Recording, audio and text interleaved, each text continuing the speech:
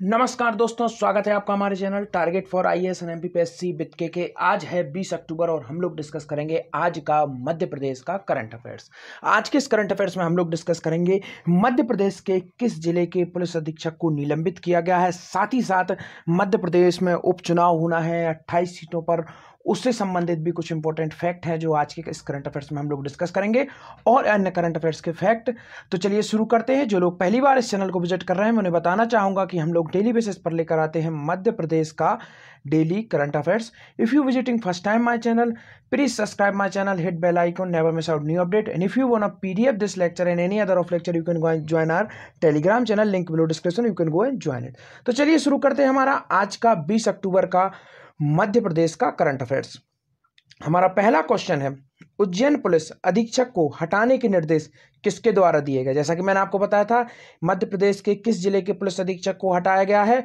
तो वह हटाया गया है उज्जैन के पुलिस अधीक्षक को। तो यह आदेश किसके द्वारा दिया गया है और किस घटनाक्रम के बाद इसे हटाया गया है, वह सब हम इसके अंतर्गत देखेंगे। तो ऑप्शन नंबर एक है माननीय शिवराज सिंह जी चौहान द्वारा, नरोत्तम मिश्रा जी द्वारा, मुख्य सचिव द्वारा, या इनमें से कोई नहीं। तो इसका राइट आंसर है दोस्तों, माननीय मुख्यमंत्री शिवराज सिंह चौहान जी द्वारा उज्जैन पुलिस अधीक्षक को हटाए जाने के निर्देश दिए गए हैं। क्यों दिए गए हैं? विगत कुछ दिन पहले आपने काफ़ी दुखद घटना देखी होगी। मध्य प्रदेश में पहली बार इस तरीके की घटना इतने बड़े स्तर पर सामने आई है कि उज्जैन में जहरीली शराब पीने से कुछ लोगों की मृत्यु हुई और यह अपने आप में काफ़ी बड़ी और हृदय विराधक घटना थी, जिसका मुख्यमंत्री जी ने तत्काल संज्ञान लेते हुए कठोर से कठोर कार्रवाई करते हुए वो पुलिस अधीक्षक को हटाया है उज्जैन के और इसमें साफ़ साफ़ जिस तरीके से पुलिस की गलती समझ में आई है उस पर कार्रवाई की है माननीय मुख्यमंत्री शिवराज सिंह जी चौहान द्वारा।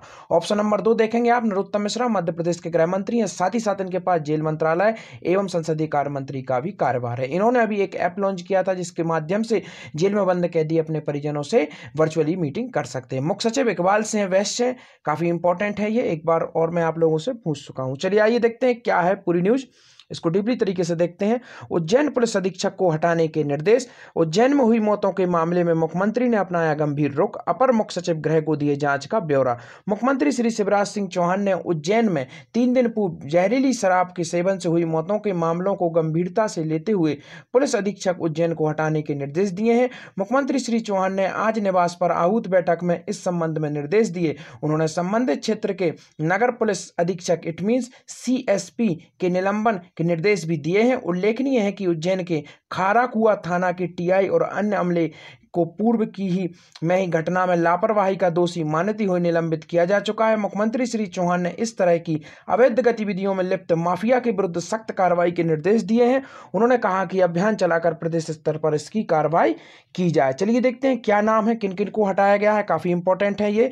मुख्यमंत्री श्री शिवराज सिंह चौहान के निर्देश पर गृह विभाग का आदेश जारी कर उज्जैन पुलिस अधीक्षक श्री मनोज कुमार सिंह, इनका नाम क्या है? मनोज कुमार सिंह को तत्काल प्रभाव से हटा दिया गया है। इनके स्थान पर श्री सत्येंद्र सत्येंद्र कुमार शुक्ला, पुलिस अधीक्षक शहडोल को पुलिस अधीक्षक उज्जैन पदस्थ किया गया। तो उज्जैन, जो शहडोल के पुलिस अधीक्षक थे सतेंद्र कुमार शुक्ला, अब उन्हें उज्जैन पदस्थ किया गया है। श्री मनोज कुमार सिंह की पदस्थापना सहायक पुलिस महानिरीक्षक पुलिस मुख्यालय भोपाल की गई है। श्री अवधेश कुमार गोस्वामी, पुलिस अधीक्षक, पीटीसी इंदौर को पुलिस अधीक्षक जिला शहडोल पदस्थ किया गया है। तो यह सब कुछ इंपॉर्टेंट फैक्ट है which is very very important so date is why today I including in my current affairs तो चलिए आइए देखते हैं।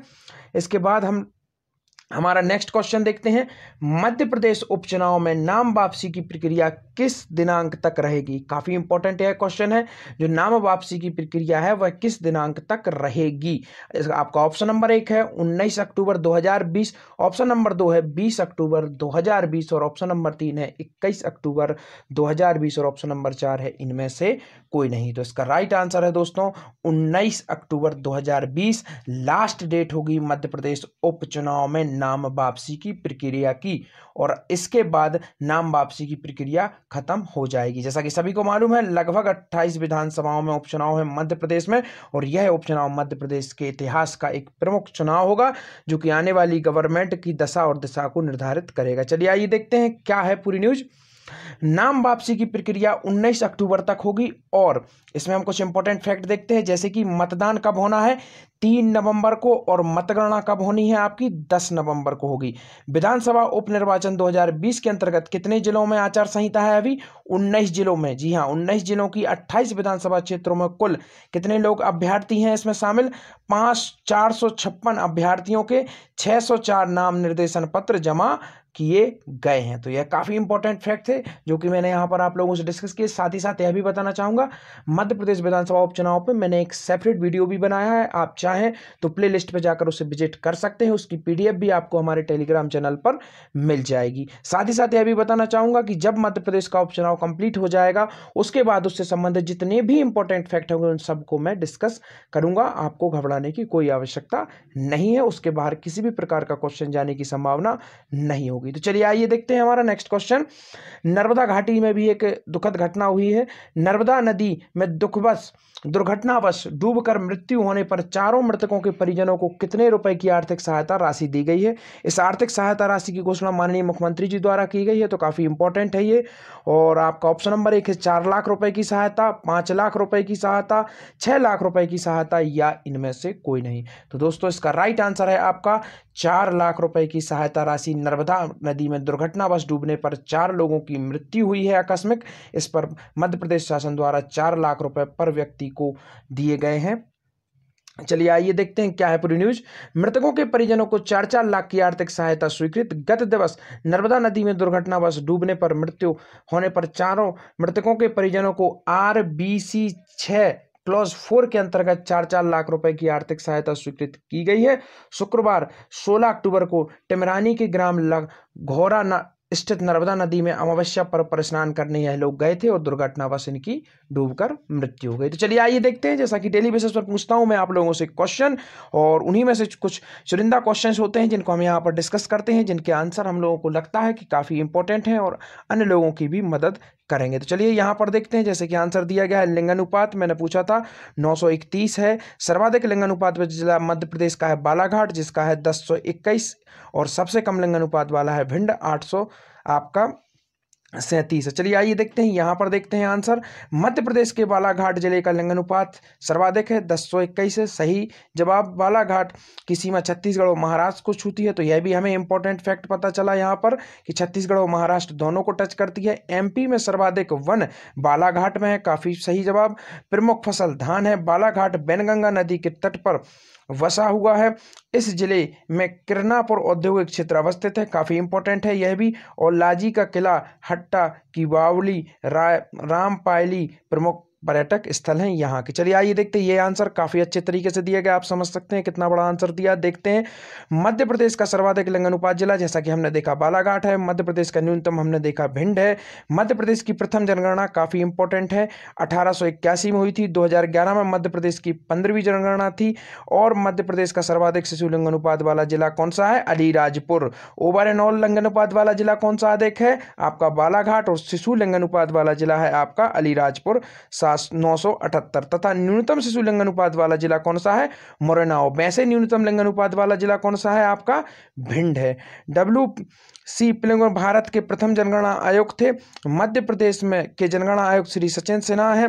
जनगणना कार्य जनसंख्या अधिनियम उन्नीस सौ अड़तालीस के अनुसार किया जाता है और यह स्पेशली केंद्र गवर्नमेंट द्वारा किया जाता है और 11 जुलाई को विश्व जनसंख्या दिवस मनाया जाता है और 11 मई को मध्य प्रदेश में काफ़ी इंपॉर्टेंट यह क्वेश्चन दिया गया है। आप इस आंसर को मैं सबसे अधिक इंपॉर्टेंट मानूँगा। आप देख सकते हैं यहाँ पर, ग्यारह मई को मध्य प्रदेश में विश्व जनगणना, विश्व जनसंख्या दिवस मनाया जाता है। तो मध्य प्रदेश में कब मनाया जाता है? 11 मई को। तो काफ़ी इंपॉर्टेंट है, इसे याद रखिए। और अपना वर्ल्ड लेवल पर मनाया जाता है आपका 11 जुलाई को। तो है दोनों 11 एक मई है और एक जुलाई है। और आप देख सकते हैं, आधुनिक प्रणाली के प्रथम जनगणना गवर्नर लाडमियो के शासनकाल में अठारह सौ बहत्तर में कराई गई थी। तो ये कुछ इंपॉर्टेंट फैक्ट थे और जो लोग अभी भी आंसर में पार्टिसिपेट नहीं कर रहे हैं, मैं उनसे हम्बल रिक्वेस्ट करना चाहूँगा। Please please participate with us it will beneficial for you and other student चलिए, आइए बताता हूँ मैं आप लोगों को आज का क्वेश्चन मध्य प्रदेश का प्रथम विश्वविद्यालय का नाम क्या है और यह किस सन में और किसके द्वारा स्थापित किया गया था? और अन्य इंपॉर्टेंट फैक्ट भी आप चाहें तो जवाब दे सकते हैं। धन्यवाद दोस्तों बने रहिए हमारे साथ। Target for I S N M B P S C with K thank you so much watching this video